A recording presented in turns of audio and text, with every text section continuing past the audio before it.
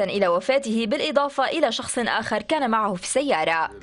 ولم يعرف بعد ما إن كان بول هو الذي يقود السيارة أثناء الحادث وأشارت التحقيقات الأولية إلى أن عجلة القيادة اختلت لسبب غير معروف في يد السائق ما أدى إلى اصطدام السيارة بشجرة.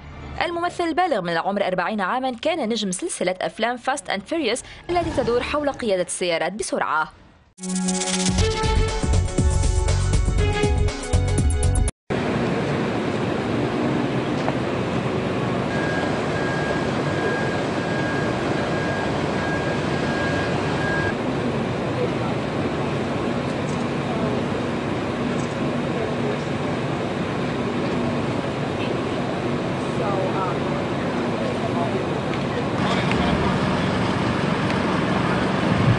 You mean your flight? Your flight? Uh, your personal here.